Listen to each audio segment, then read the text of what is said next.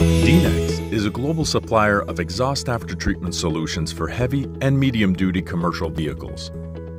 Our in house technologies on catalysts and canning allow us to fully support our customers on turbo out to tailpipe scope as a single interface. We have a strong track record serving OEMs globally for their diesel and natural gas powered trucks, buses, as well as agricultural and construction vehicles.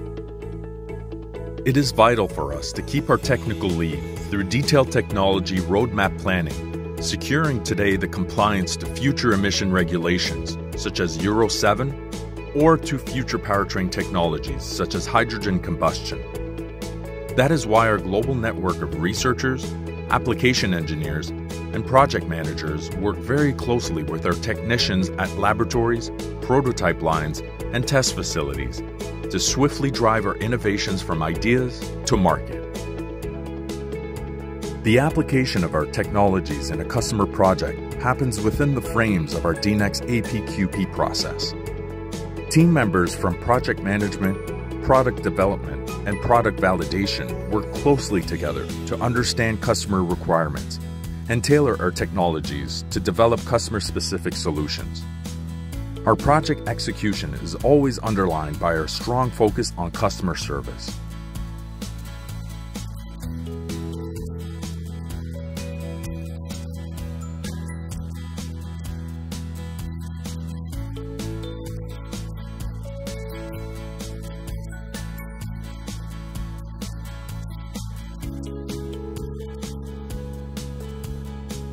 Product application starts with understanding customer technical requirements.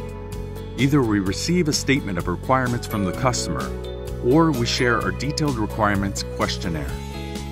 With more than 39 years of experience in after-treatment business, we can quickly put a concept together that the customer can use for checking virtually and on the test bench. We minimize engineering efforts and time by using state-of-the-art simulation software.